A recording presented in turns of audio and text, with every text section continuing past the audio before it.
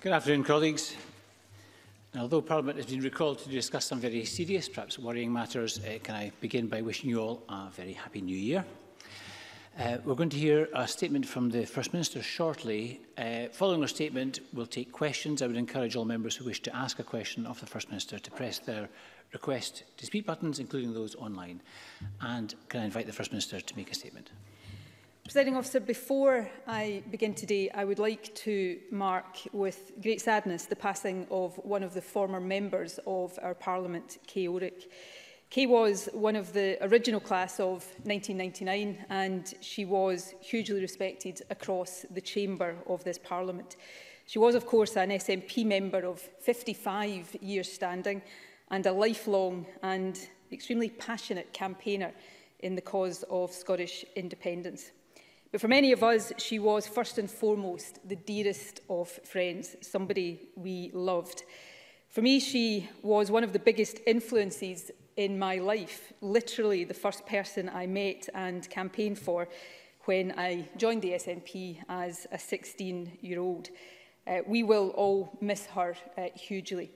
And in paying tribute to her today, I want to send my love and condolences to her husband, Grady, and to her children, John and Shelley, and to her beloved grandchildren, you really were the light of her life. Your granny was a very special person, and she was extremely proud of all of you.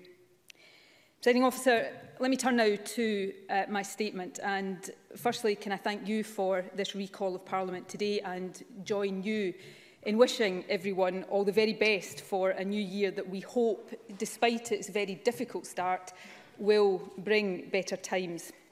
The Cabinet met this morning to assess the up-to-date COVID situation, which I must say at the outset is extremely serious, and to discuss what further action is necessary to minimise further spread of the virus. I will set out the decisions we reached shortly.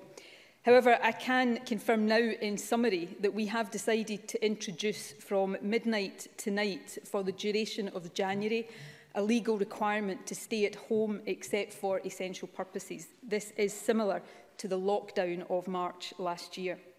However, before I set out these decisions in more detail, I want to take uh, the opportunity to explain in some detail why they are so necessary. In the past few weeks, there have been two significant game changers in our fight against this virus. One, the approval of vaccines is hugely positive and it does offer us the way out of this pandemic. But the other, the new faster spreading variant of the virus is a massive blow. And possibly the most simple way of explaining the challenge we face right now is to compare it to a race. Mm In one lane, we have vaccines, and our job is to make sure they can run as fast as possible. And that's why the government will be doing everything we can to vaccinate people as quickly as possible, and I will say more about that later. But in the other lane is the virus, which, as a result of this new variant, has just learned to run much faster and has most definitely picked up pace in the past couple of weeks. To ensure that the vaccine wins this race, it is essential to speed up vaccination as far as possible. But to give it the time it needs to get ahead, we must also slow the virus down. And because it is now spreading faster, that means even tougher restrictions are necessary. The evidence, presiding officer, is now compelling that the new variant is up to 70% more transmissible than previously circulating strains and that it may add as much as 0.7 to the R number. And according to recent analysis of PCR test samples, it appears that the new variant already accounts for almost half of all new cases in Scotland. That increased uh, and faster spread is undoubtedly driving the very serious situation we now face.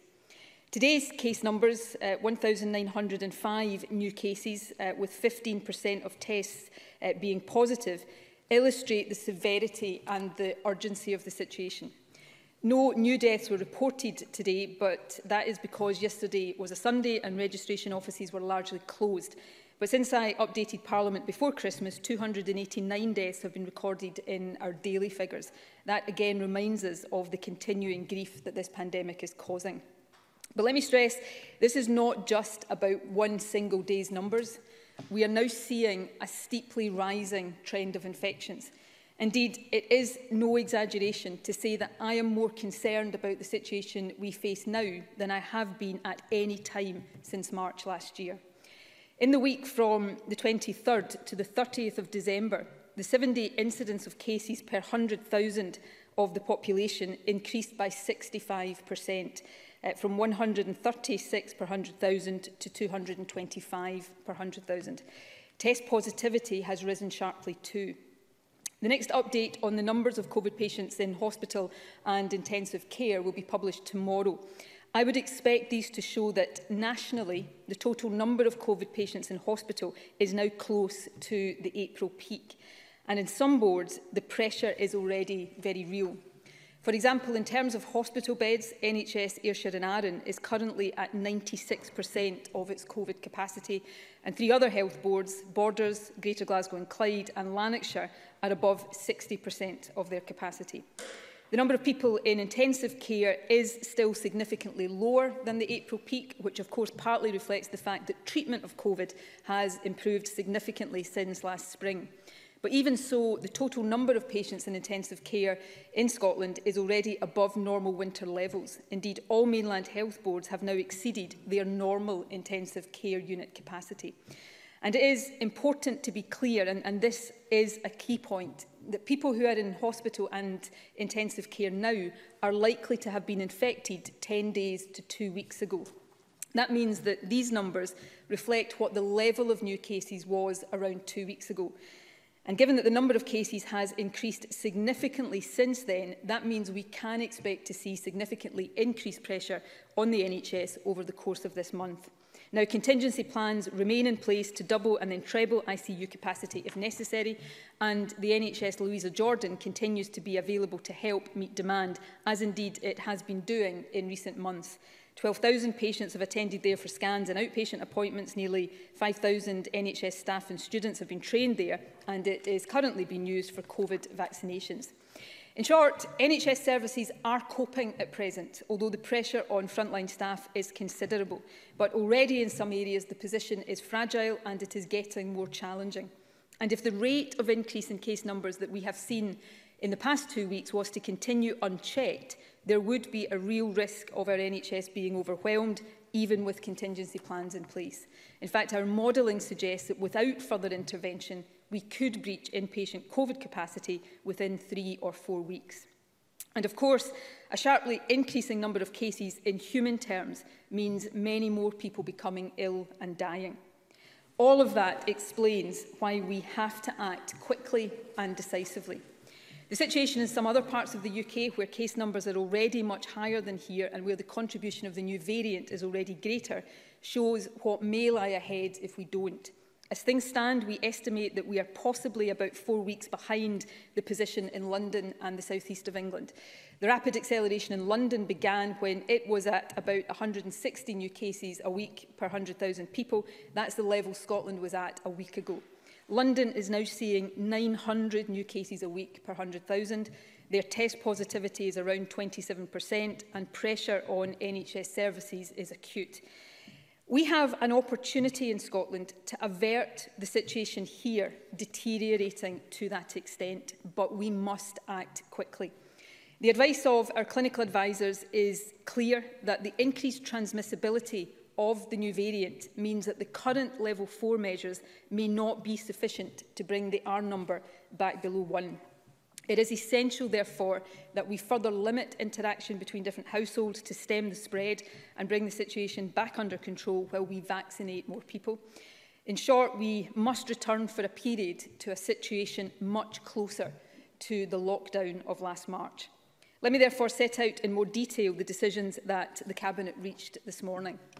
It is important to stress that these are not decisions that we took lightly. I am acutely aware of the impact they will have and I know they will not be welcome, but they are, in our judgment, essential.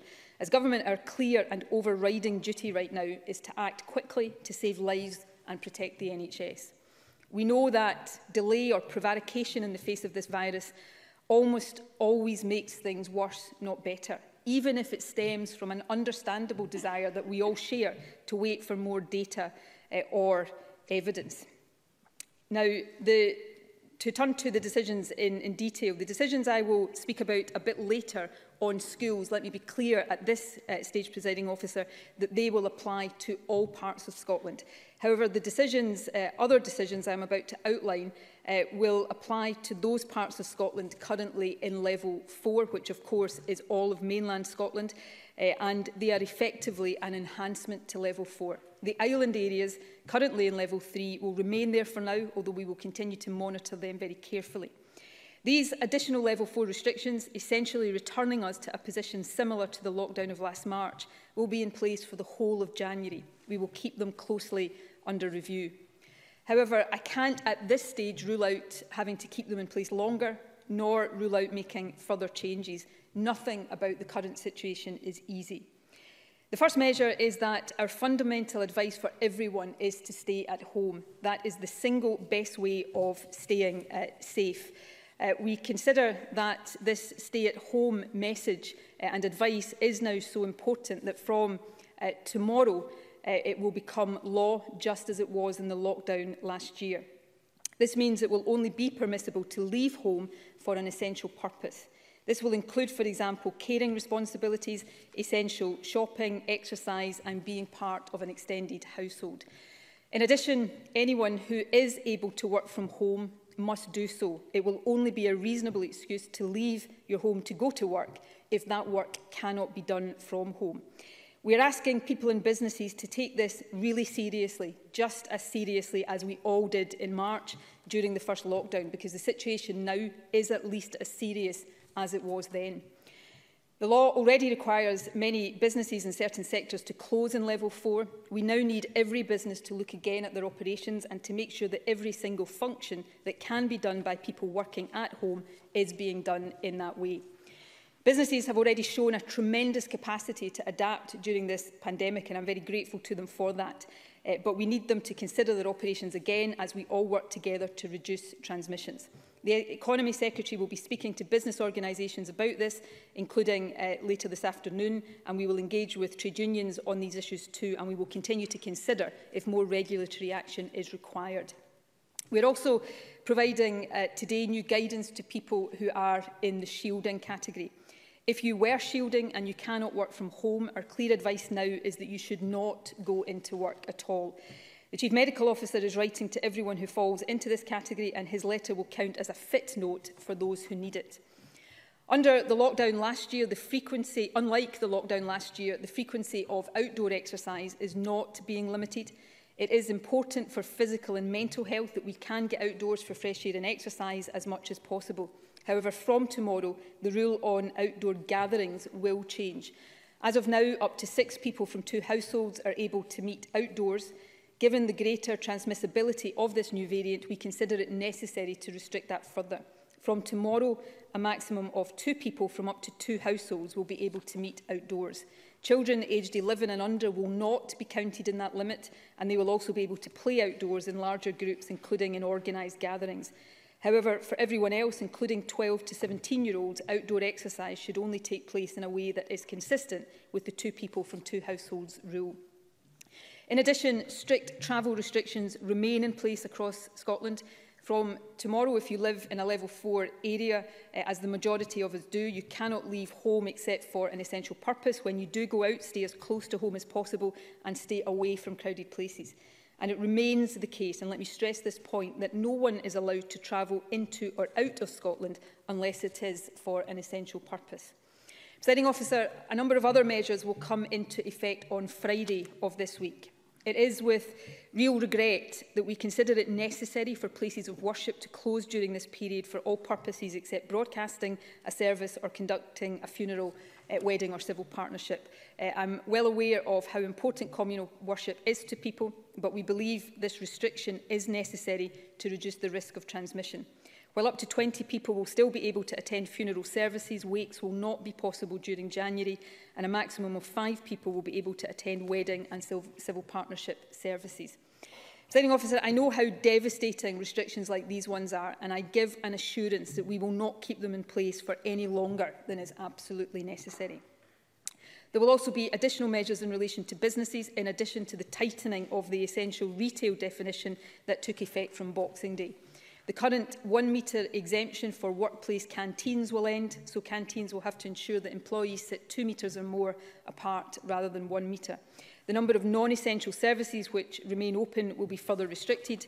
Premises which will need to close as a result of these changes will include, for example, ski centres, showrooms of larger retailers and clinics offering cosmetic and aesthetic procedures. I know that many businesses have already been hit by the restrictions which were put in place on Boxing Day And of course, I know that the vast majority of businesses have taken their responsibility seriously and invested in COVID safety measures. In addition, the move to home working has brought challenges for workers and employers.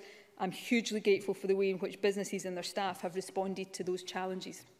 Grants are, of course, available for businesses required to close as a result of restrictions. That support is in addition to support through the UK-wide furlough scheme. The Scottish Government's financial support for businesses during the pandemic currently totals more than £2.3 billion, but we will continue to assess what more we can do, either in closure grants or other forms of support, to help businesses and those who work for them. We will also be working with councils to ensure community and social support for those who need it, including for parents, balancing work and online learning. We will confirm additional resources for these purposes later this week. Presiding officer, the final substantive issue I want to address before giving an update on vaccination relates to schools. We announced before Christmas that most school pupils would learn remotely rather than in school until Monday 18th January. I can confirm that we have now decided to extend that date and keep schools closed to the majority of pupils until the 1st of February. We will review this again in mid-January.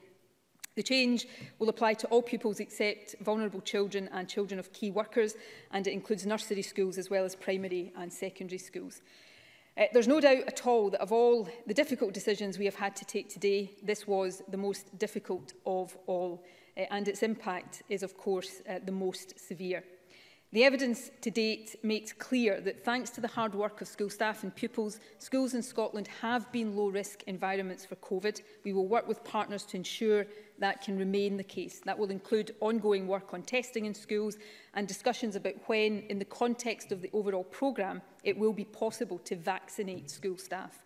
And I want to be clear that it remains our priority to get school buildings open again for all pupils as quickly as possible and then keep them open. Mm But right now, two factors mean that it is not consistent with a safety-first approach for all children to attend school in person. First, the overall level of community transmission is simply too high. We need to get transmission down before schools can safely reopen. A period of online learning will also in turn help us to do that. The second reason is that there is still significant uncertainty about the impact of the new variant on transmission amongst young people. We therefore have to adopt a cautious approach at this stage, and that's why most pupils will be learning online for at least the rest of the month. We will review on 18th January whether they can, as we hope, return to school on the 1st of February. I know that remote learning presents significant challenges for teachers, schools, parents and young people, and we will work to support children and parents throughout this. The Government, Education Scotland and local authorities are working together to further improve the remote learning options available for schools And it's also worth highlighting that since schools returned after the summer, more than 50,000 devices such as laptops have been distributed to children and young people to help with remote learning.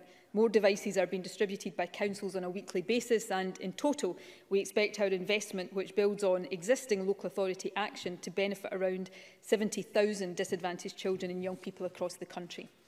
I also want to stress one final point. Just as the last places we ever want to close are schools and nurseries, so it is the case that schools and nurseries will be the first places we want to reopen as we re-emerge from this latest period of lockdown.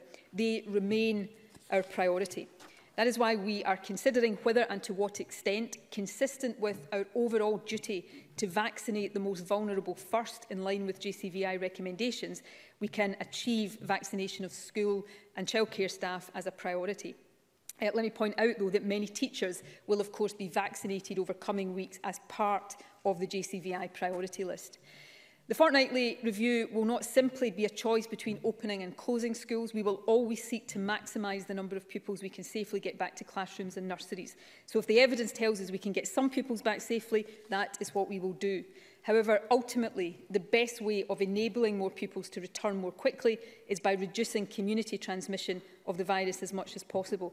And all of us, by accepting and abiding by the wider restrictions I have set out today have a part to play in achieving that. Uh, before I leave the issue of education, let me simply remind the Chamber that we already had plans in place for the staggered return of universities and colleges. We will be considering this week whether any further change to that plan is necessary. Presiding officer, before I close today, I want to give a brief update on our current expe expectations around vaccine supply. The Health Secretary will give a more detailed update on vaccination in a statement to the Chamber next week. However, I can confirm today that well over 100,000 people have now received their first dose of vaccine. The first doses of the AstraZeneca vaccine are being administered in Scotland today. In total, over the period to the end of January, including the more than 100,000 already administered, we expect to have access to just over 900,000 doses of vaccine, although obviously we hope that number will increase. Uh, these will be split roughly equally between the Pfizer and AstraZeneca vaccines. However, we anticipate that some of the AstraZeneca portion will be available only in the last week of January. We don't yet have certainty on supply schedules beyond January, but we will keep Parliament updated as these become firmer. However, our current expectation based on assumptions about supply and also on the new advice on doses being administered up to 12 weeks apart rather than three, is that by early May, everyone over 50 and people under 50 with specific underlying conditions will have received at least the first dose of vaccine. And that is everyone who is on the JCVI priority list and comprises more than 2.5 million people. Once everyone on the priority list has been vaccinated, we will start uh, vaccinating the rest of the population and we will do this in parallel with completing second doses for those on the priority list. Uh, those timetables are, of course, heavily dependent on supply and for that reason they are at this stage cautious. However, I have tasked our vaccination team with exploring and keeping under ongoing review all possible options to speed up the rate of vaccination and bring these timescales forward as far as we possibly can. I'm grateful for the many offers of assistance we have received and while many of them may not prove possible or practical to take up, they will all be considered. And as I said, the Health Secretary will say more about all of this in her statement next week. Presiding officer, to conclude, this is most certainly not the New Year statement I wanted to give, and I know it is a statement no one wanted to hear. But as I said at the beginning, we are now in a race between the vaccine and the virus. The Scottish Government will do everything we can to speed up distribution of the vaccine but all of us must do everything we can to slow down the spread of the virus. We can already see by looking at infection rates elsewhere uh, some of what could happen here in Scotland if we don't act. To prevent that, we must act immediately and firmly. For government, that means introducing tough measures as we have done so today and for all of us it means sticking to the rules it means continuing to follow the facts guidance and it means above all staying at home that is again our central message stay home save lives, protect the NHS. If we do this, we give the vaccine the time it needs to get ahead and ultimately win this race. I know that the next few weeks will be incredibly difficult. I'm sorry to ask for further sacrifices after nine long months of them, but these sacrifices are necessary. And the difference between now and last March is that with the help of vaccines, we now have confidence that these sacrifices will pave the way to brighter days ahead. So for everyone's sake and for everyone's safety, please stick with it and stay at home. Thank you very much, First Minister. The First Minister will now take questions. Ruth Davidson. Thank you. First of all, Presiding Officer, may I offer the condolences of myself and of my party on the news of the passing of Kate Ulrich, who was respected across this chamber. Uh, and I too am grateful to you, Presiding Officer, for recalling Parliament for today's statement. Nobody wants to live under restrictions for a moment longer than is absolutely necessary or for those restrictions to be any tighter than needed. However, the increase in infection rate and the transmissibility of the new variant gives grave cause for concern. We have come too far to throw all our efforts away, and the rollout of the vaccine means that we can see a time soon when all this will begin to be over. That being said, this is hard news at a hard time when the resilience of people across the country has already been worn down over the past year. Many will be dismayed by today's news, not least the parents of school pupils who now have to rip up their childcare plans, negotiate with their employers and worry about their children's fractured education. The Children's and Young People's Commissioner has expressed concerns that closing schools poses a serious risk of harm to the well-being of children and young people. And he's also warned that support for online learning is being provided inconsistently across Scotland and that there's not enough national guidance and support for schools from government ministers threatening a further widening of the attainment gap. So can I ask what further steps the Scottish Government is taking now to address these concerns and to ensure that Scottish pupils continue to get equal access to high quality education? First Minister. Well, can I firstly agree that this will be very hard uh, news for everybody across Scotland to hear today and to contemplate the reality of over these next few weeks. I want to reiterate uh, to people again that these are decisions that we do not take lightly. Uh, we agonise over them um, and uh, we only uh, announce restrictions like this if we really feel there is no alternative. And right now, the only alternative is greater loss of life and the potential for our National Health Service to be overwhelmed. Um, and speed of action at this point in time is the most important factor of all. The decision we most agonised over was uh, the further closure of schools for the majority of pupils. Uh, the issue of schools closed or open has been contentious in the most recent weeks and teachers and others have understandably uh, raised concerns but I hope people see uh, from the responses of the government and the actions of the government that we have uh, striven and will continue to strive to keep schools open uh, as normally as possible, uh, as often and as for as long as possible. Um, and this decision today is one that we deem necessary for the reasons I set out. Uh, we will, and the Education Secretary will set out uh, for MSPs, uh, I'll, uh, ensure that this happens uh, over the uh, next couple of days, uh, the steps that are being taken to ensure that the provision of online education is as parents want it to be and that local authorities are working to ensure that that is of a consistent quality across the country. We have already taken steps, as I indicated in my opening uh, remarks, to ensure that more young people have access to uh, digital devices to make online uh, learning more accessible to them. Uh, schools uh, and local authorities already have contingency plans in place. There is advice for parents available via uh, the Parent Club website. Parents can also speak direct to schools uh, for more advice. Uh, the national online learning platform GLOW uh, has seen a huge increase in users and usage uh, since earlier last year and we are working actively with local and national partners to enhance the online and remote learning options uh, for pupils. Um, that's work that will continue over the course of next week and for as long as is necessary. But let me end uh, this answer with uh, a reiteration of the point that we want this to be for as short a period as necessary for all of the reasons that I think everybody understands and agrees with. Ruth Davidson. Today's announcement underscores the need to have a comprehensive test and trace system in place. In August, the First Minister promised that between UK Government Lighthouse Labs and NHS Scotland facilities that we would have the capacity for 65,000 tests per day.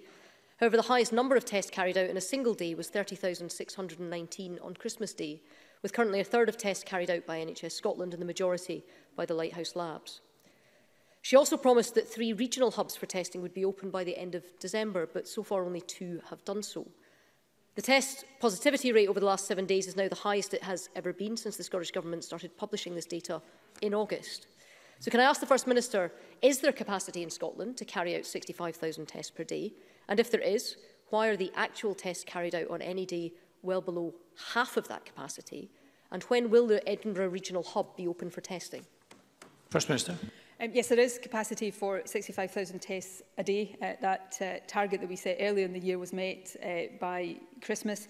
Uh, the number of tests, though, that are actually carried out on any given day is largely demand-driven because it is people who have symptoms coming forward for testing and we have seen and I think we will continue to see that number rise as uh, unfortunately this faster spreading strain of the virus infects more people but the capacity um, and the demand for testing will often not be uh, numbers that are exactly the same for, for obvious uh, reasons. Of course, we do uh, increasingly, although uh, some of the uh, asymptomatic testing is not done through the PCR testing uh, that goes through the, the laboratory network. Uh, some of that is now done by lateral flow testing, uh, which don't appear in these numbers. Uh, but some asymptomatic testing uh, is done in this way. Care home staff, for example, which we are in the process, well uh, through the process of transferring from the Lighthouse Lab network uh, to the NHS NHS Scotland uh, lab network. Uh, we do have a, a well-functioning test uh, and protect system uh, and it continues to be a really important part of our response uh, to this virus. But as we uh, have a, a virus that is spreading faster, uh, then we have to uh, have a, a range of different responses to that uh, in order to complement the test and protect. And of course, in terms of interventions, just as test and protect has been important, uh, the vaccine programme becomes increasingly important over the next period. And last lastly, uh, there has been a, a last minute issue or probably not literally last minute, but late stage issue in the Edinburgh uh, lab, regional lab with a sprinkler system, as I understand it, which is in the process of being rectified, and that is due to open shortly. Stevenson. Today's announcement of further restrictions is particularly difficult to take when we've had such positive news in recent weeks of vaccines being proved and that have been bought in such quantities by the UK government. In her statement, the First Minister said that we are in a race between the vaccine and the virus. It is impossible to know if we're winning that race at any given time if we only show the daily infection figures without the daily vaccination figures. The public needs more information on precisely how the rollout is going, both nationally and in their own area, as well as when they will receive their dose. Also, last week, the Health Secretary said that those aged over 80 will be invited to attend their vaccinations by letter. So can the First Minister commit today to publish not just the national vaccination figures, but also the numbers vaccinated by health boards so that people can see the progress in their own communities? And can she tell us now when everyone in the over 80 cohort will receive their letter with vaccination appointment details? First Minister. Um, on publication, uh, I think I said uh, last week when Parliament was recalled in response to a question from uh, the Labour benches that we uh, are intending to break down the weekly publication of the numbers vaccinated into categories and also uh, I would hope that we would do that regionally by health board as well. I will consider uh, whether uh, it, there is a potential to have a greater frequency of publication. We are currently doing that weekly. I am simply mindful of not putting uh, too many burdens of data collection and publication on people that we are uh, expecting to undertake this huge logistical challenge. So it may be that weekly publication remains the best balance with that greater breakdown uh, of statistics. Uh, the vaccine programme is, of course, because uh, it is not that long since the vaccines have been approved, particularly the AstraZeneca one, is still in its early stage stage, but we have vaccinated more than 100,000 people. Uh, the percentage at this stage, it's a small percentage of the population uh, that has been vaccinated. It is slightly higher in Scotland than in the other UK nations, but uh, we will have to continue to focus on accelerating that as much as possible. As I said earlier on, uh, that is at the moment uh, largely uh, constrained by supply. Uh, we know what we expect. Hopefully that's a Conservative uh, small c uh, estimate for January. We are not yet clear what supplies we uh, can expect for beyond uh, January. In terms of the uh, call for uh, those in the over 80 population, that will start shortly and be an ongoing process. We have obviously been uh, recalculating uh, uh, our modelling for the, the, the speed and timescale of vaccination as a result of the changed Chief Medical Officer advice on uh, doing uh, the second dose of the vaccine up to 12 weeks after the first dose as opposed to uh, three weeks. That will allow us to get the first dose of vaccine to more people much more quickly um, and we are making sure that we take full advantage of that as we take full advantage of the supplies of the vaccine as we get them. Truth Davison. There are immediate practical questions that are raised by today's announcement and one of the primary ones is the legal requirement for people to work from home where they can. This raises all sorts of issues, including who is a key worker and what constitutes essential labour in a workplace outside of the home. Also, who makes these decisions and what is the process of arbitration in the event of a dispute between a workplace and a local authority or a boss and an employee. In the first lockdown, we saw different interpretations between local authorities and different services provided depending on category. People need to know what these new rules are, how they will apply to them, and what recourse exists where there's conflict. So will the First Minister give clarity on these important points? First Minister. Uh, we will set out uh, more guidance on uh, these points. On the issue of uh, key worker in the context of education, local authorities have specifically asked for some flexibility around that, which I think is important uh, to afford them. Uh, there is a balance to be struck here. In terms of business, uh, we are not, as of now, in uh, quite as restrictive a position in terms of uh, non-essential uh, work in construction and manufacturing, for example, uh, being closed as we were back in March, but that is something we need to keep under review, uh, both in terms of the spread of the virus, but also that really important relationship, which I do understand, between people's uh, ability to work uh, or requirement to work rather and their ability to look after children and uh, take part in online learning for their children at home. Uh, the Economy Secretary will be having discussions as early as this afternoon with business organisations. Uh, we'll be discussing with trade unions to make sure that we help people, just as we did back in March, navigate uh, their way through what I recognise is a difficult situation. But the message to businesses is we are asking you again, as you did in March, uh, to very rigorously scrutinise your own operations and assure yourself uh, that the people that you are requiring to be at work are genuinely only people uh, that cannot do their job at home. Uh, there is a, a need to make sure that as many people as possible uh, who can work from home are supported to do that. Thank you. Richard Leonard. Uh, thank you, Presiding Officer, and can I begin by offering the condolences of the Scottish Labour Party to uh, the family of Key Ulrich, who was uh, widely respected right across the spectrum of Scottish politics. The issue here today is not just whether schools and school buildings are open or not. It is about how much preparation has been made by the government for the continuation of our children's education. It is about whether the remote learning materials which we were promised were ready back in July are ready now, six months later. It is about whether teachers have the support they need, whether plans are in place and whether they have the resources they require to back it up. And it is about how much support there is for working parents, what the plan is for them. For example, Does the First Minister have a plan to encourage all businesses to furlough all working parents who need to take time off to support their children? Can the First Minister assure us that all of this is in place? First Minister. What I'm not going to do is pretend to people that any of these things are, are easy. Uh, they're not easy for the people who are having to live with the consequences. And these things are not easy for any government anywhere. But yes, we are, as we did earlier, in the pandemic and at the outset when we were in lockdown previously, we will do everything we can to help people both navigate their way through these decisions but also deal with the impact of them. Uh, so we have taken significant steps around uh, online learning. For example, the National e-Learning Offer, which is a, a collaborative program uh, involving the Scottish Government, Education Scotland and local government has already uh, helped improve the options that are available to schools. Uh, that has enhanced the provision for live remote learning, recorded lessons and uh, supported learning via online digital learning.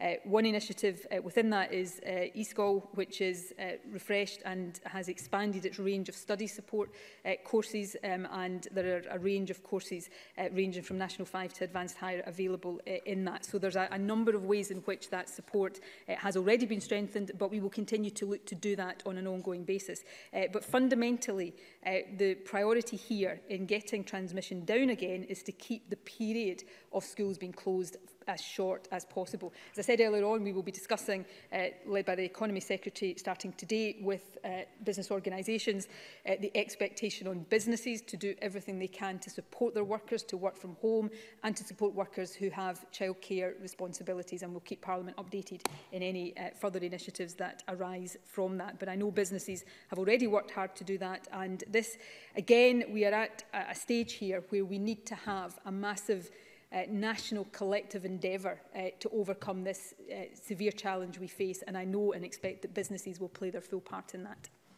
Richard Leonard. Uh, thank you, Presiding Officer. And let me stick to the theme of support for working people.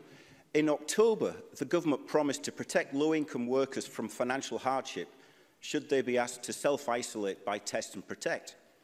However, the £500 grant does not seem to be reaching many of those low-paid workers – who have applied for it.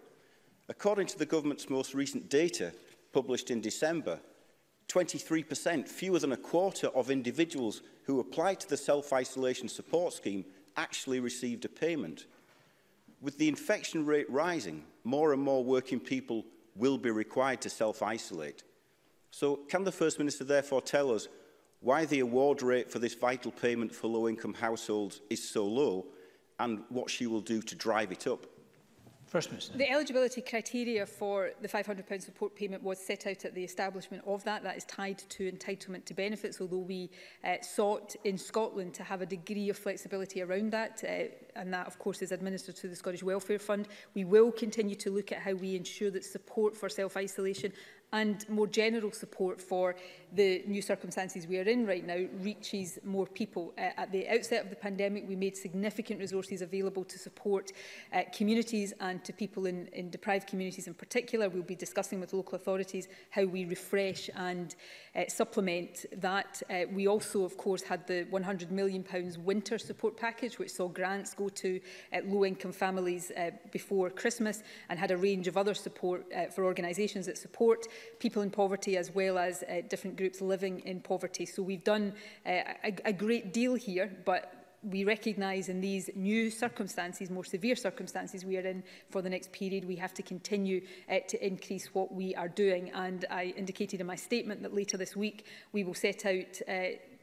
announcements about additional resources that will cover many of these key aspects, support for uh, communities, support for uh, particularly vulnerable groups, parental support and any additional support in uh, addition to the support strands that are already there for business that we are going to be able to make available for companies affected.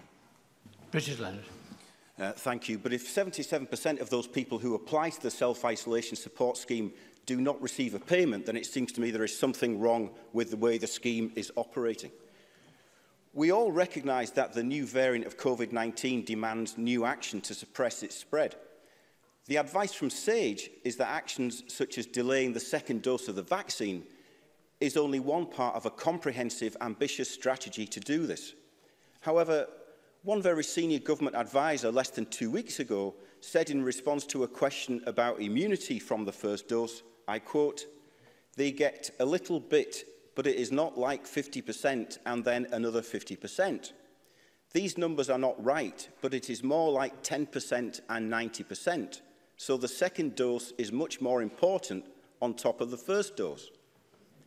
Then a week later, a statement from the Joint Committee on Vaccination and Immunisation said, and I quote them, short-term vaccine efficacy from the first dose of the Pfizer vaccine is calculated at around 90%. Short-term vaccine efficacy from the first dose of the AstraZeneca vaccine is calculated at around 70%. Maintaining public confidence in the vaccination programme is critical, but that requires ensuring messages are clear and consistent. Clear and consistent from all government advisers. Can the First Minister take responsibility for that? And can the First Minister today set out the expected number of people to be vaccinated each week based on current assumptions? First Minister. Um, I take responsibility for all aspects of uh, the government's handling of this. I've, I've never tried to shy away from that. I think consistent messaging is important, I must admit. Um, as an aside, I have struggled week to week to know what Richard Leonard is actually expecting the government to do. It's gone from easing restrictions to more severe restrictions. Uh, so these things are difficult, but I understand the importance of it. Um, before I come on to the issue of vaccine dosage, which is important, um, let me just round off the Uh, the first point on the uh, support payment, uh, we have already extended eligibility for that since it was uh, introduced and we will continue to look uh, to, to do that.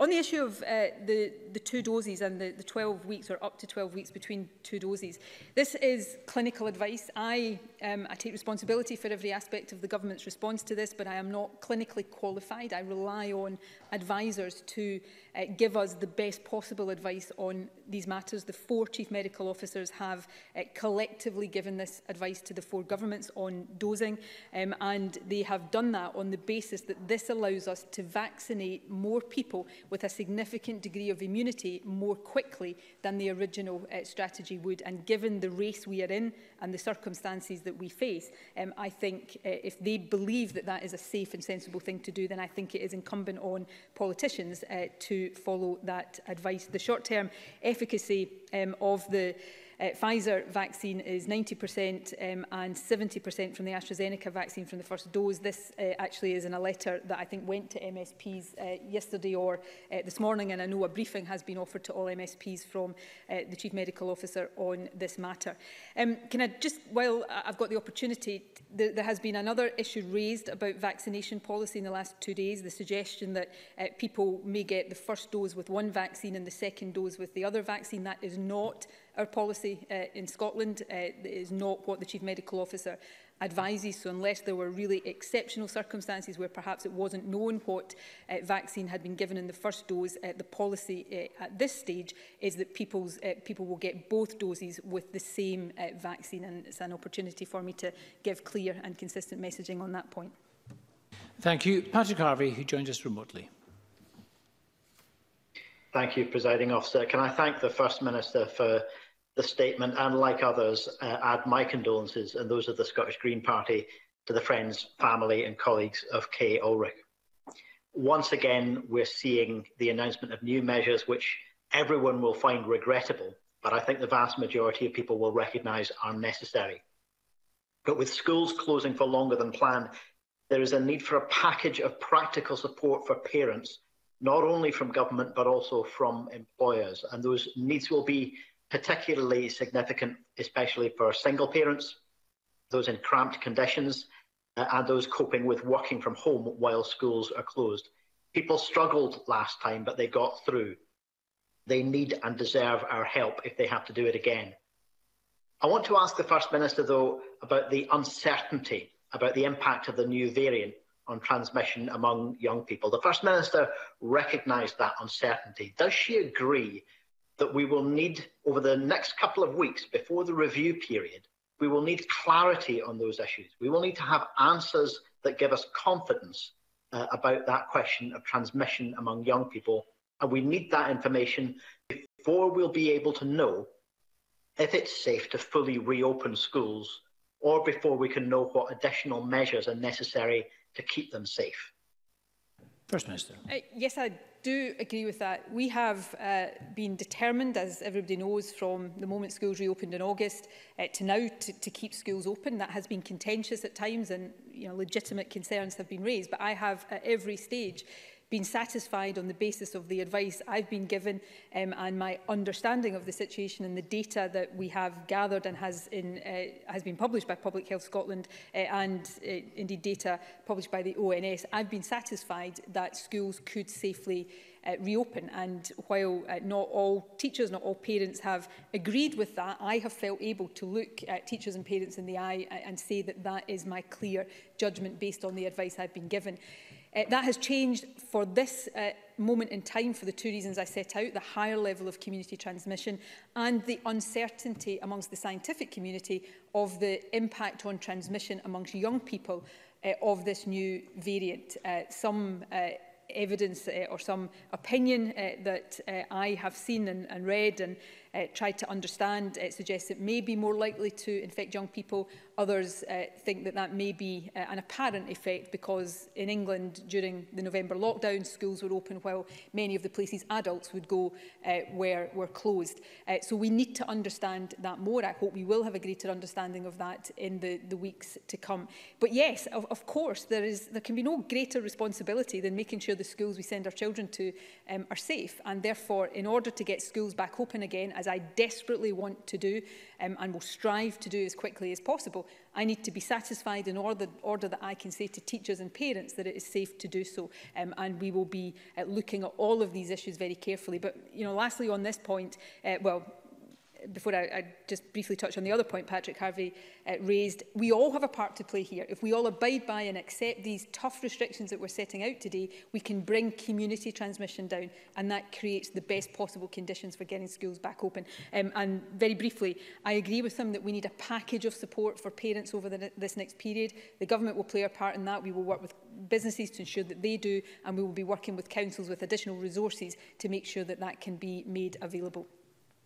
Patrick Harvey. It does seem from that answer that if that scientific uncertainty still exists two weeks today, when the decision about schools is going to be reviewed, then the Scottish Government is committing to taking a precautionary approach. I hope that the First Minister also agrees that teaching unions are rightly concerned about the safety of pupils and the wider community as well as the safety of school staff. It has been appalling to see some people, including prominent political figures who should know better, peering to question the judgment of unions and even their integrity in their call for a precautionary response to the pandemic. So, will the First Minister commit to working together with the teaching unions on the challenges facing schools? And in particular, I welcome the fact that the statement today appears to acknowledge that more needs to be done to accelerate vaccination for teachers and other school staff. Can the First Minister assure us that teachers and school staff will see meaningful progress on this before the review date on the 18th of January? First Minister. Can I take the opportunity, first of all, not because Patrick Harvey has uh, tried to create an alternative impression, because there'll be a lot of parents watching this right now. There is no evidence at all that this uh, virus is uh, leading to more severe illness amongst young people. And there is no uh, conclusive evidence that it is even more likely to infect uh, young people at all. And I think it's important to reassure parents. Uh, but there are some uncertainties around the impact it has and whether, even if it's not leading to uh, greater infection uh, risks within groups of young people, whether they may be more likely to carry it and, and infect older people, whether that's parents or, or teachers. It's important that we give ourselves the time for the scientific community to come to a more uh, certain view of that. Um, secondly, we work with trade unions. The Deputy First Minister in uh, particular works with the education unions. They are uh, involved on, uh, integrally involved in the Education Recovery Group, which of course met this morning and made the recommendation that I've announced today uh, to Cabinet. Um, I respect the views of unions. I would never doubt uh, for a single second their integrity or their motivations in this, and I would deprecate anybody who does. That doesn't mean we will always reach uh, a position where we're in absolute agreement. The, the issue of schools has been contentious, but the commitment I will give is that I will always be, uh, take the utmost care in these decisions around schools and satisfy myself, as the Deputy First Minister does, in the advice we get about the safety of schools. That's been true in the past, and in these changed circumstances, it will be true in future. Uh, finally, on vaccination, again, I don't want to in any way oversimplify a complex issue here. We all want to get everybody vaccinated as quickly as possible, and key groups in particular, teachers and school staff would allow us uh, to give that uh, greater assurance to teachers in the uh, determination to get uh, schools reopened. But we have very clear expert clinical advice about the need to prioritise those who are clinically most at risk of getting ill and dying from this virus. And ethically, we have a duty to make sure that we use the supplies we have to do that first. Many teachers will be in these groups, you know, teachers uh, over 50 or teachers under 50 who have other health conditions. Uh, but beyond that, we want to get teachers vaccinated and, and school staff generally vaccinated as quickly as possible. But we must make sure we are following the advice about those clinically most at need. And we'll be discussing uh, internally in government with our advisers and with uh, teaching unions and local authorities how we can accelerate that whole process because we understand the central importance of that. Willie Rennie. I wish to express uh, my condolences at the sad death of Kay Erlich as well. Um, there will be a price to pay in terms of mental health, economic well-being, health services, inequality and the loss of education. Uh, but I agree that the evidence supports the return of stricter measures. It would be a tragedy if the NHS was to be overwhelmed and more lives lost when the protective coat of this new vaccine was within touch and distance for millions of people. But I want to ask about childcare. There will be more people back at work, especially as construction and manufacturing continues compared with the spring. But what advice has the First Minister got for working parents, those not of key workers, but for working parents? Um, what advice, what support is available and what childcare will be available for them? the availability of informal childcare and childminders is much more restricted um, than is necessary. So therefore, what advice would she give to those families to make sure that they have the appropriate childcare? Well, can I firstly agree that there is a price uh, in all sorts of respects that will be paid possibly for, definitely for some time to come for this pandemic in Scotland, the UK, Europe and in the world. But there will be a much bigger price to pay if we do not act to get this virus under control. And that is the central uh, driving imperative that uh, motivates the government uh, each and every single day. Um, on childcare, my advice to parents, firstly, I'm not going to insult the intelligence of any parent. This is a really difficult situation and nothing I can say standing here takes away the challenges that parents are confronted with right now. Uh, we will do everything we can to help in a range of different ways. The key worker provision uh, and the flexibility that we've left local authorities with there uh, is the first part of how we will do that. Uh, there is uh, the possibility, although it is more restricted, for informal childcare where there are no other alternatives alternatives. We will also, as I've said a couple of times in response to previous questions, work with businesses to make sure businesses are helping parents uh, who are amongst their workforces who have childcare responsibilities. And we will be looking in very short order, uh, including with additional resources, what further practical support, uh, including financial support, we can provide uh, to those who need it. So this will be a package of support, but I don't want to stand here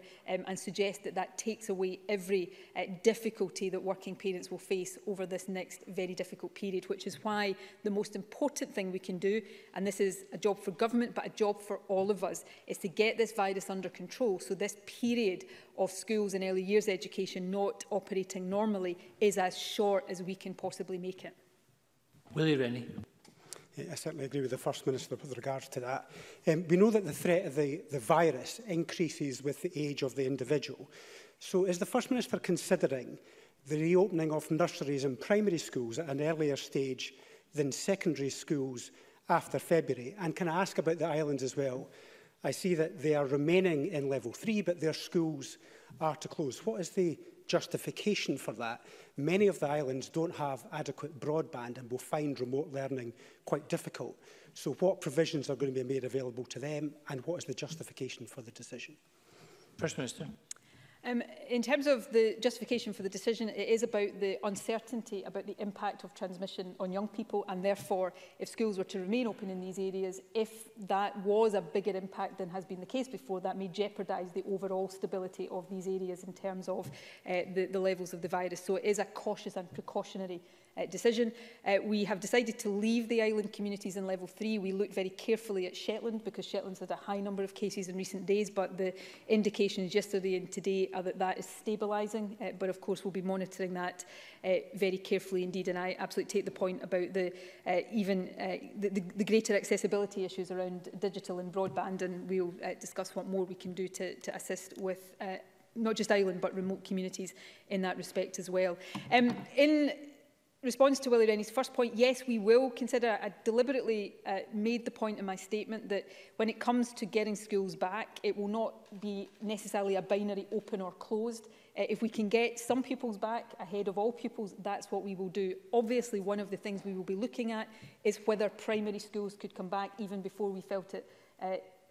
safe to bring secondary schools back if we feel it is not safe by the time we get to that review point on the 18th of January. So all of these things will be very much under consideration. We want as many children, want all children to be in school as normal uh, as quickly as possible, but short of that, we want as many to get back as quickly as possible.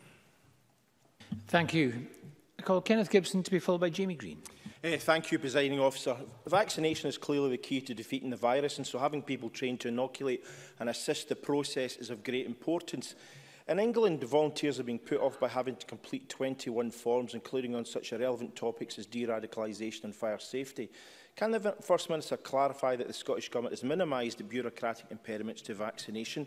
And given the new lockdown, what steps will be taken to ensure compliance, as many constituents are concerned that compliance can be patchy, inevitably leading to viral spread? First Minister.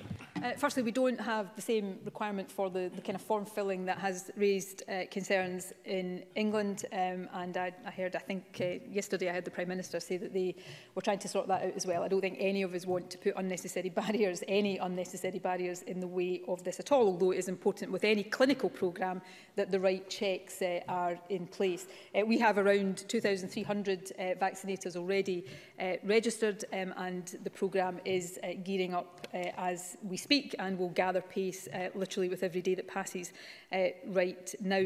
Uh, Kenny Gibson raises an important point about compliance. Uh, the police uh, increased their visibility over uh, the Christmas period in terms of uh, travel restrictions, but we will continue to, and they will continue to see enforcement as a last resort. My message to everybody right now, if you have which uh, would be understandable given the longevity of this, been finding your compliance with these restrictions dipping, particularly over the Christmas period, if there is ever a point to really, really uh, think about this and abide by these restrictions, uh, it is now. We face a perilous situation, a more serious situation than at any time since the outset of this, and we cannot afford to have anybody inadvertently spreading this virus. And that's a message to all of us to make sure that we are redoubling all of our efforts in all respects.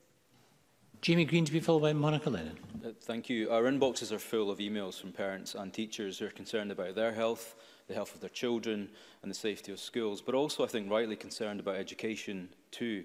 The reality is, starting off, so we don't know how long unlearn, online learning will now last. The question is why 10 months into this pandemic is every single pupil in Scotland still not able to fully access online learning already? And can I also ask the First Minister if it is schools, nurseries and teachers themselves who will provide for the children of key workers? Or will local councils be asked to reopen learning hubs? Uh, schools will remain open for uh, the uh, children of key workers and for vulnerable children and teachers will be uh, part of that. Uh, we have uh, set out already the steps we've taken to continually improve uh, the provision of online learning and that is not something that we think is job done and there's no more to do. That will continue on an ongoing basis. So from the distribution of devices through to the other steps that I've taken, uh, that is something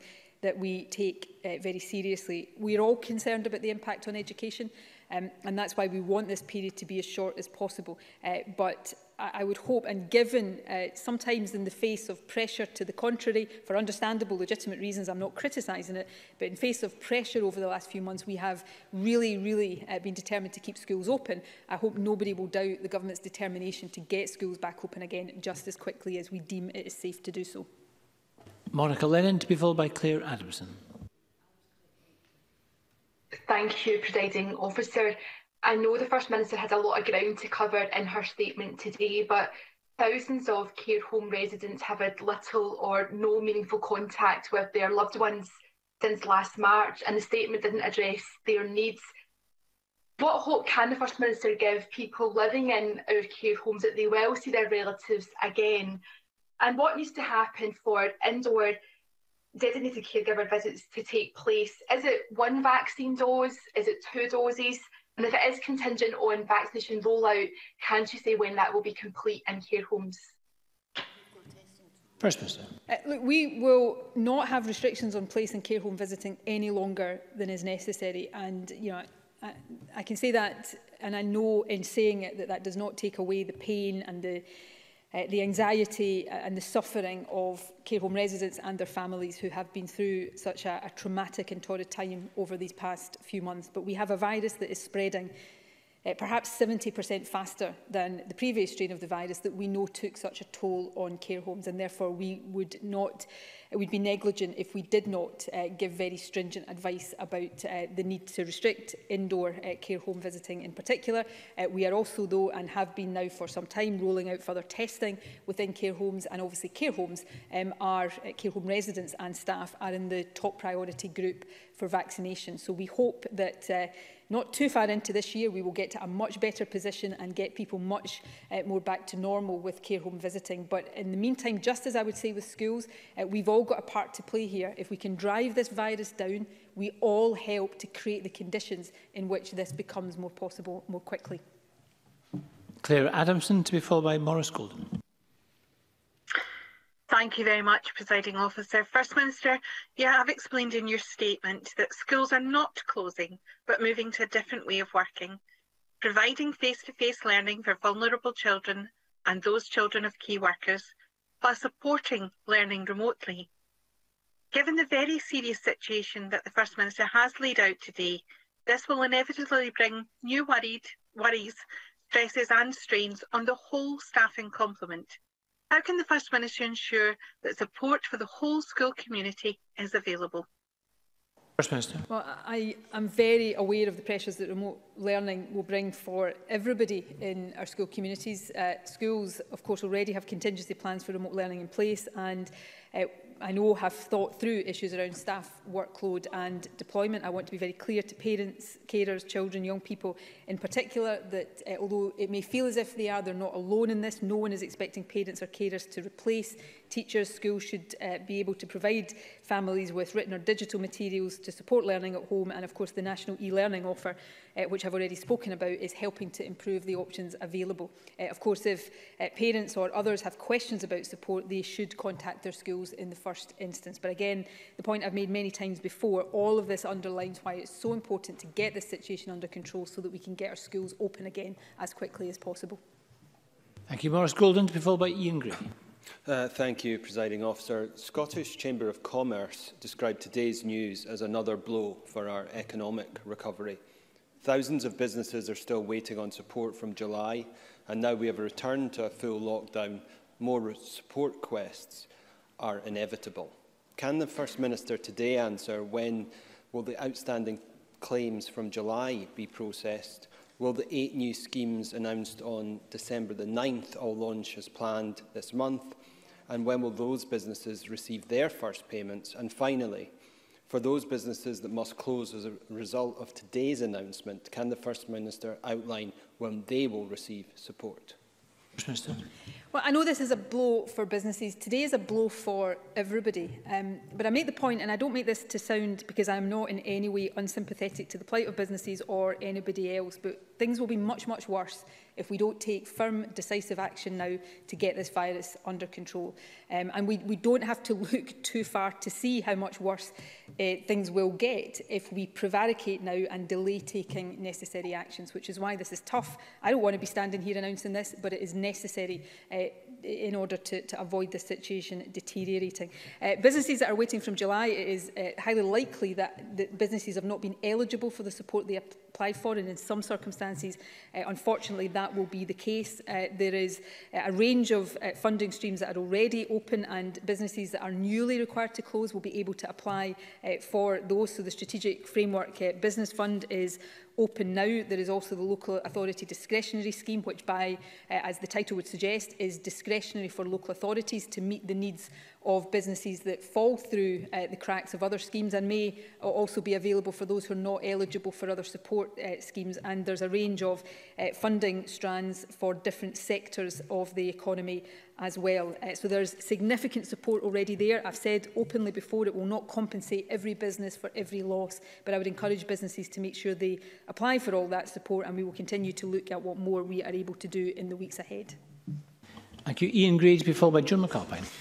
Thank you. The First Minister has explained why plans for schools in January have changed. Um, these plans previously announced did include teachers and school staff returning to school this week to staff hubs and to lead remote learning for other pupils. Uh, uh, many teachers and school staff listening to today's statement will be unsure now whether they should plan to go into school or not.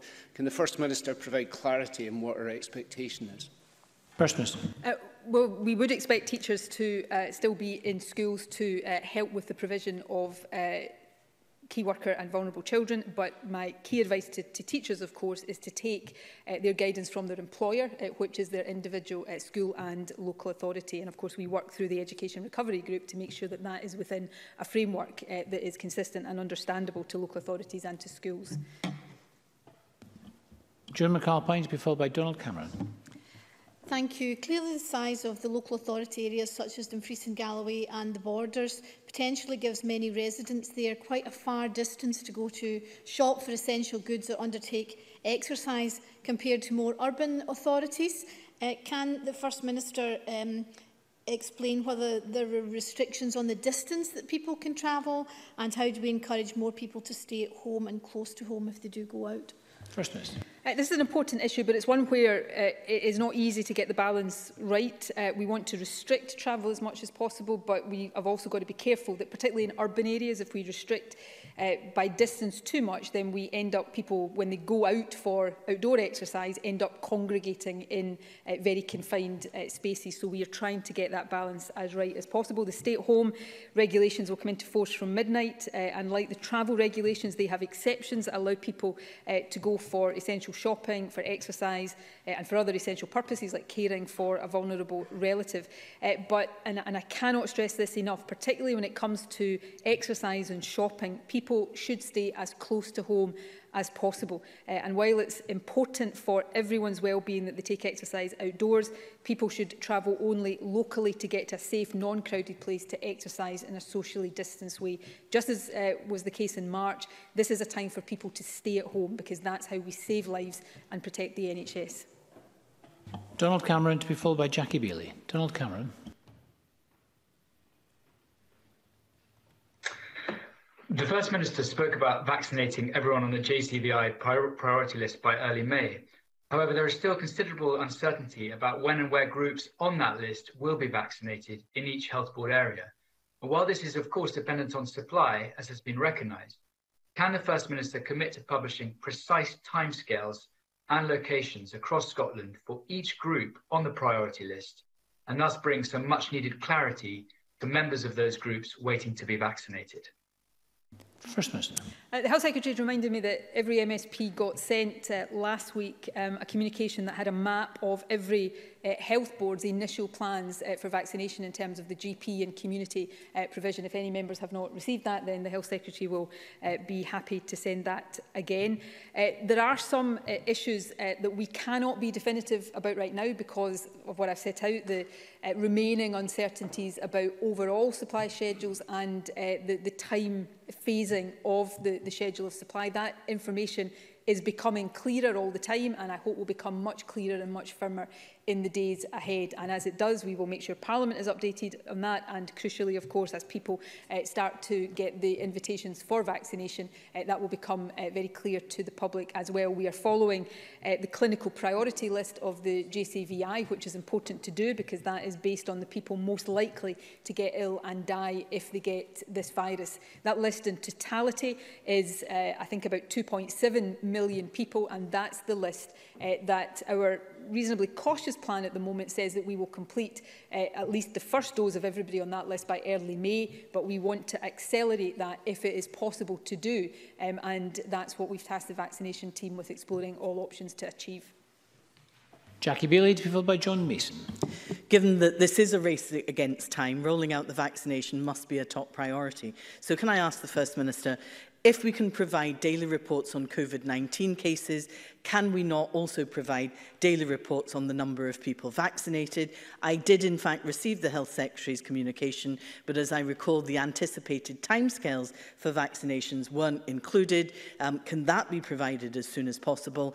And will she consider using retired NHS staff who have experience of giving injections to help accelerate the programme? And finally, given the reports in the Sunday papers about NHS Greater Glasgow and Clyde, I welcome her, government, her comments on the government's policy policy position, but what practical action has she taken to ensure that those getting second doses in that health board area will have the same vaccine?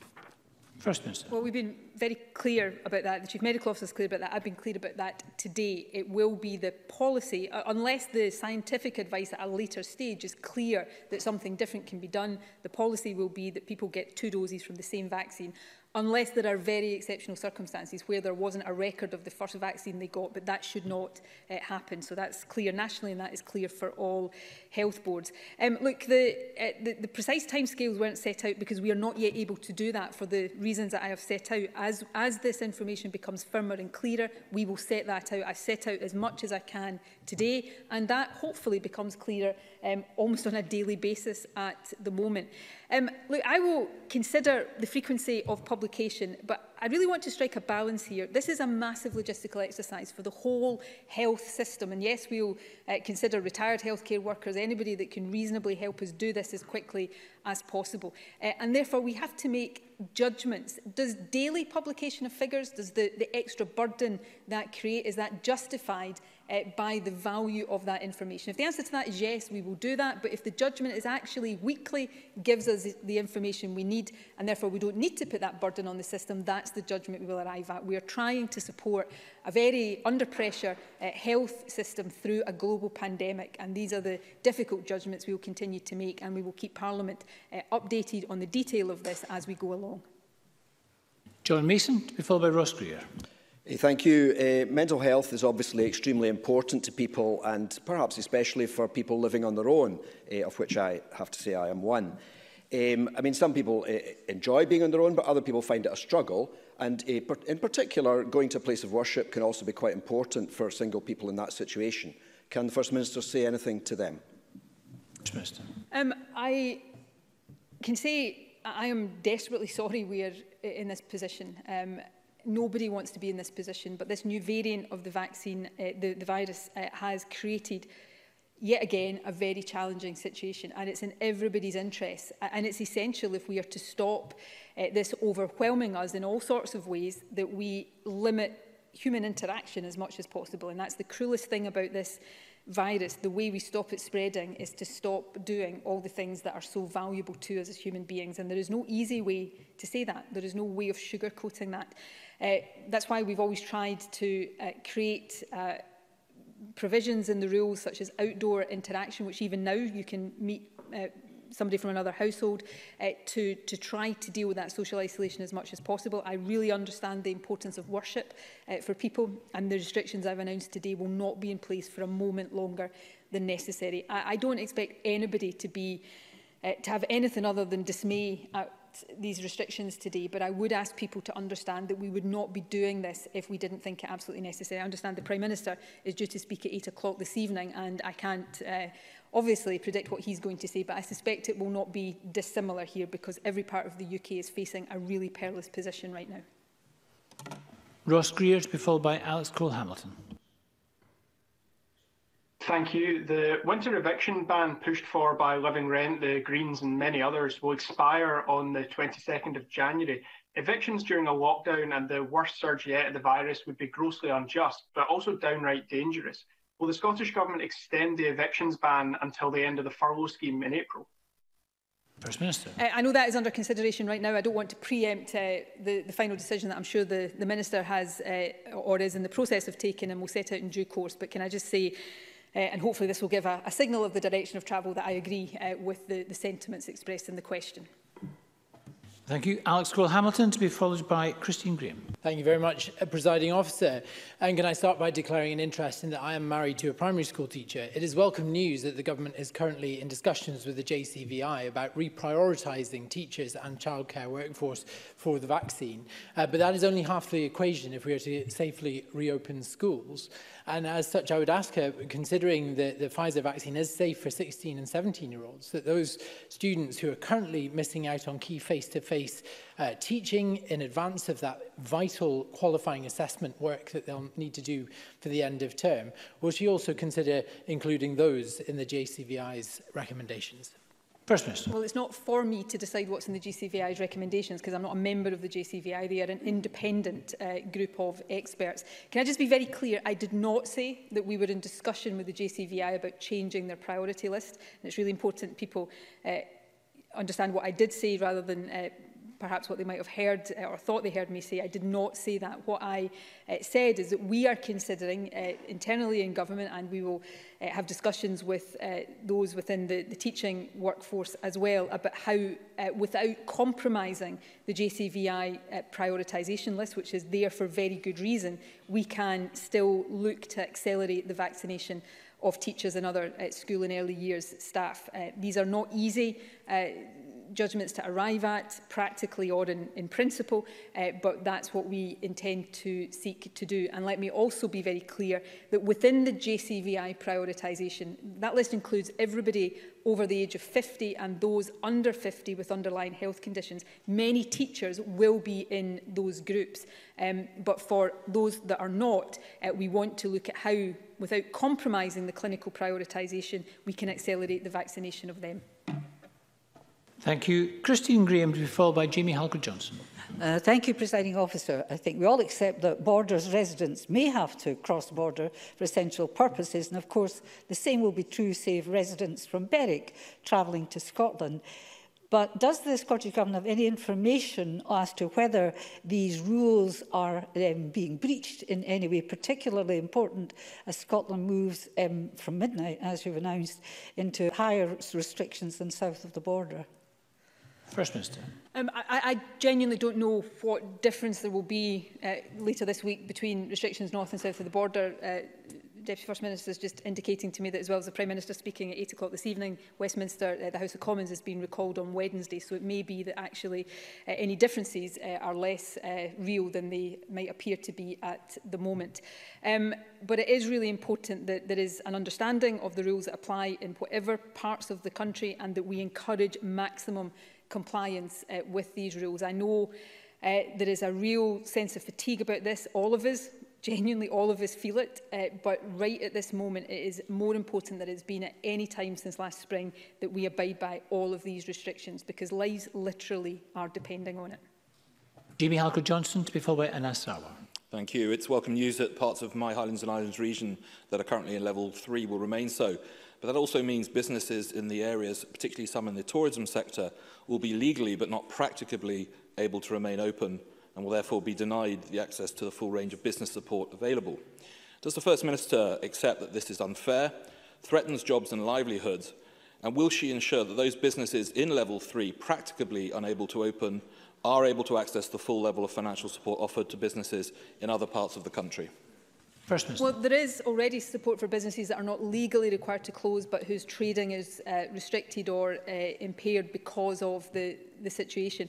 In addition to that, there is local authority discretionary funding. Uh, but if there are particular cases, as will be the case in any aspect of this, where we think there are uh, categories falling through the cracks uh, of these support schemes, we will always be prepared to look at that and see what more can be done.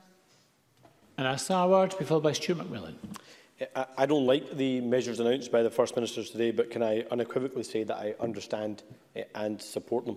it is clear that the vaccine is now the way out of this crisis for us as a country. Eh, but 10 months on, we still have issues with the mass testing eh, regime, which doesn't really inspire confidence in our mass vaccination programme. I spoke to Glasgow home carers this morning and the representatives of the GMB union Uh, and they tell me that sadly the rhetoric does not meet the reality and that they've been forced to ballot their members with 93% saying that they are considering strike action in the city. Uh, these home carers aren't making this decision lightly. Uh, they care about their own health, their family's health and the health of those that they care for. So can we please, please have an urgent intervention from the First Minister herself to sort testing for home carers in Glasgow and across the country and help us inspire confident in our vaccine programme too. First Minister. Um, I firstly want to pay tribute to the uh, contribution that home care workers make. Uh, it is well, very difficult to properly uh, convey our appreciation to them for everything they do. And I know that any decisions they take um, around industrial action would absolutely not be taken lightly and I hope that we uh, will be in a position where they don't feel that is necessary. Um, it is not about an intervention from me. We have already set out the plans for uh, the testing of home care workers which get underway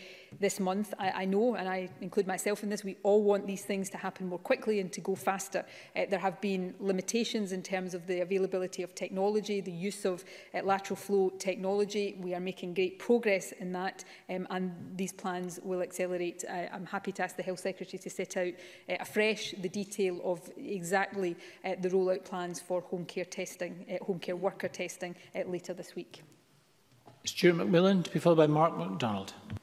Thank you, Presiding Officer. Well, the vast majority of businesses, like the rest of the population, are complying fully with all that is asked of them. There are some that will always seek to find a loophole or to justify why they should or could stay open. How can we encourage everyone to behave responsibly? And what more can we do to close such loopholes? First Minister.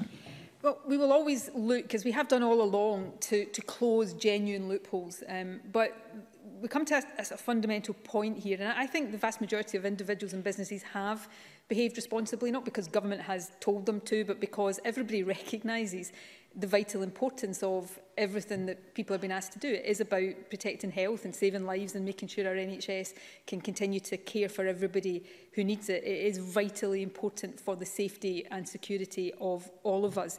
Um, but this is a moment, uh, and I, I say this very clearly and, and I want to stress this is to, to recapture the, the sense and the spirit we had back in March last year, when I think everybody wanted to operate, not within the letter of the rules, but within the spirit.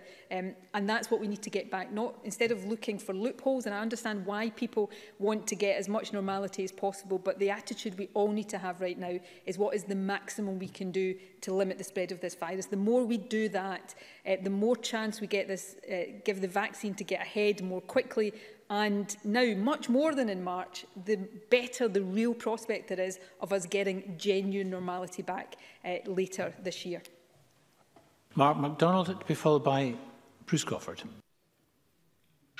Uh, thank you, Presiding Officer. Um, while I'm entirely supportive of the measures the First Minister has outlined, um, having undertaken homeschooling during the last lockdown and being a parent of a child with additional support needs, I'm acutely aware of the difficulties that many families will face where one or more child has a disability or additional support need in delivering home learning, able to do that for all children uh, on an equitable basis. How tightly will the definitions of vulnerability that the First Minister has alluded to be drawn? And what steps will be taken to give appropriate support to families with children with additional support needs and disabilities to ensure that they can provide equitable home learning for all of the children in their household? First Minister. The responsibility on the part of local authorities and schools and indeed the government is to meet the needs of every child. Now, we are requiring to do this right now in very difficult and unique circumstances, but that responsibility continues to be there. There is flexibility on the part of, of councils around the definitions of vulnerable and, and also key uh, workers children and that helps them ensure that that can be done and within the support that has been made available uh, to schools and then from schools to families the particular needs of children with additional uh, learning needs and children with disabilities is incredibly important and I know that schools and local authorities are very cognizant of that. Bruce Crawford to be followed by Liz Smith. Uh, thank you, President Officer. First Minister, while we may yet face some of the darkest days of the pandemic, Do you agree that it's even more vital that people are given hope and greater certainty that brighter times lie ahead? We know that our amazing NHS staff will step up and perform when the vaccines are delivered to them. But I believe it would greatly help people to get more medium to longer term certainty from the vaccine manufacturers about production volumes as well as timescales for delivery to the NHS frontline. Can I therefore ask what more the Scottish Government can do in discussion with the UK government and, of course, the vaccine companies to provide that greater certainty for the medium to long term. First Minister. Firstly, I do think it's really important uh, to, to give hope. And, you know, it feels today very difficult to be standing here talking about hope. But if I can use my race analogy again, back in March, the virus was in a race of its own. It, there was only one lane and, and it was the virus and we were all just desperately trying to slow it down and bring it under control. This time, although it feels very dark and difficult today, we have this other lane with the vaccine in it that can, uh, we hope and we expect, uh, win the race over the next few months. So that does give hope that these sacrifices this time are absolutely paving the way for brighter, better and much more normal times ahead. In terms of procurement, we uh, obviously continue to do procurement on a Four Nations basis through the UK Vaccines Task Force. Just to be clear, that is not, as uh, some have uh, used the, the language of, the UK buying vaccines for us. That's about all Four Nations pooling our resources and um, our efforts to, to make sure that we get uh, the best position there. Uh, these are new vaccines. COVID vaccines have been authorised for supply for just a matter of weeks and we're working with counterparts in Bays, the Department of Health and Social Care and Public Health England to establish a reliable supply schedule uh, for boards to support their programming of uh, vaccination. And uh, I've set out what our expectations of supply are. The Health Secretary and I, uh, before Christmas, had discussions with Pfizer about their supply expectations, and we intend to have the same uh, discussions or seek to have the same discussions with AstraZeneca over the next period. Thank you. Liz Smith to be followed by Alec Rowley. Uh, could the First Minister answer a question that I was asked by a vulnerable constituent this morning has just moved from uh, north of England to Kinross and not yet been able to register with a GP and told that maybe some weeks yet. Does he require to have that registration before he can obtain a vaccination? First Minister. Instead of uh, seeking to give an answer to that very specific and very important question here, I'm going to go away and make sure I double check and get the answer right and I'll get the answer to Liz Smith for forward communication to our constituent as soon as possible and then we'll make that information available for the purposes of anybody else who might be in the similar position. Thank you. Alec Rowley to be followed by John Scott. Thank you, Presiding Officer. I think that most people in the country will understand and will be supportive of the measures that the First Minister has announced today, because public health has to come first. But can I ask what work is going on by the government to develop an exit strategy based on what we've already learned? So it's difficult to see where the transmission is most prevalent. And is it in businesses? Is it in cars? Is it in schools? And so, in order to form an exit strategy that starts to look at how we get our schools and our economy going again, will the government bring forward that type of information and start to set out what the plan is as we move towards the spring and the summer to get our, our, our country up and running again? First Minister. The exit strategy now is the vaccine. And the vaccine is a very definite exit strategy that we haven't had before. And that is why the, the quicker we can get people vaccinated, the more we can get back to normal. If the restrictions that we are living under right now help us, as we hope they will, to uh, suppress spread, then even as we are vaccinating, we would hope to be able to lift some of these restrictions. Um, so, but, but you know, unlike in March, the vaccine gives us a definite exit strategy that we lacked uh, back then. In terms of where the virus spreads, I know, uh, and I include myself in this, I think over the past 10 months we've all been desperate to think that there's some very complicated answers that if we just crack them, then we'll, we'll have the solution to this.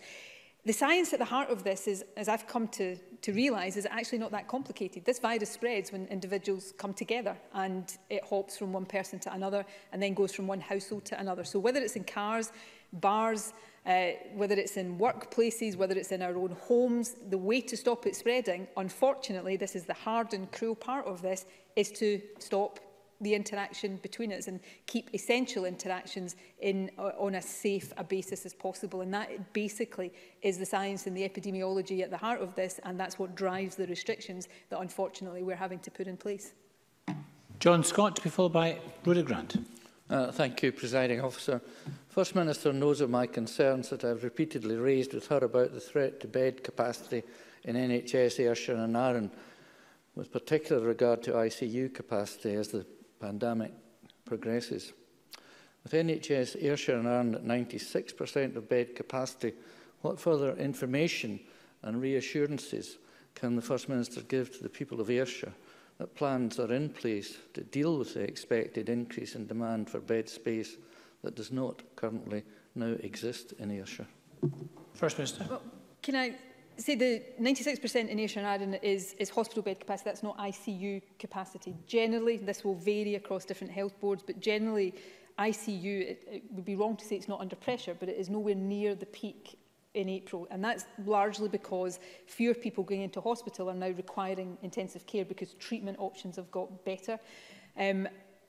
but hospital capacity is more of a concern, um, and that is particularly true in Ayrshire and Arden, Glasgow, the Borders and, and Lanarkshire. And that comes back to the need to make sure that we are not adding to that pressure. And the 96% is of COVID capacity. Um, and that's really why we need to take these steps right now to make sure that we are not overwhelming that capacity.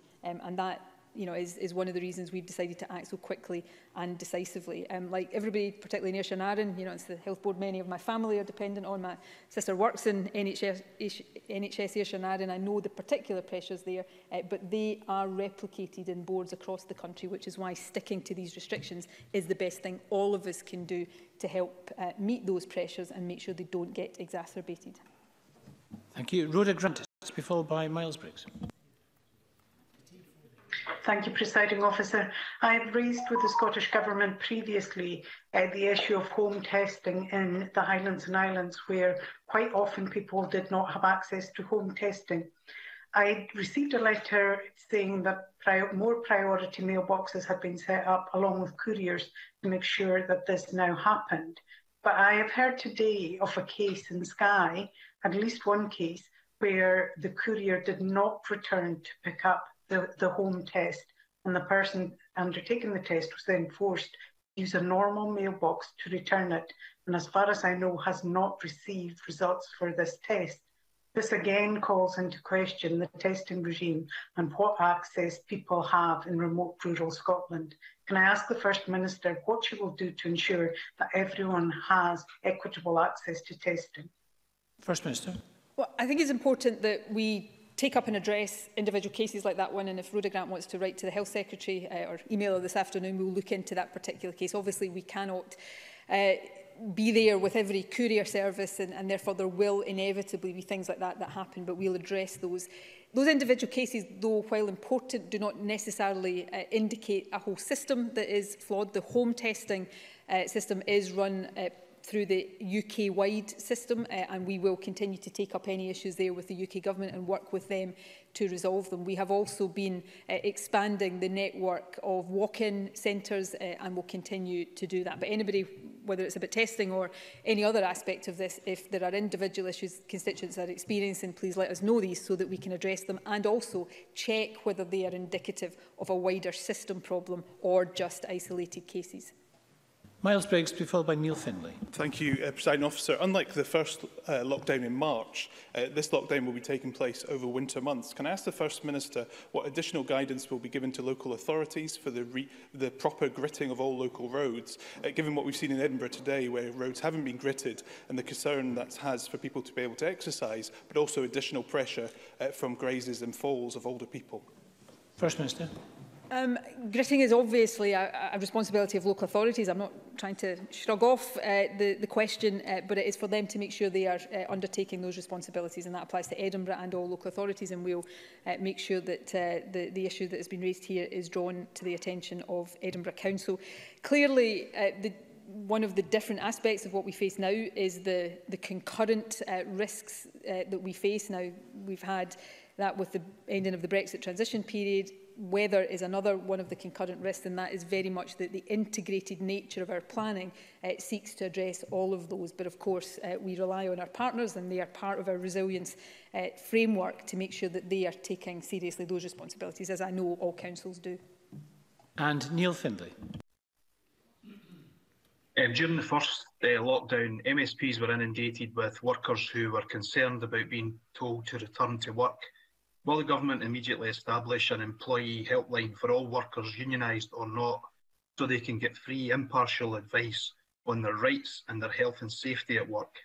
And also in the first lockdown, uh, those who were shielding received free food and essential items from the government. Will this happen again?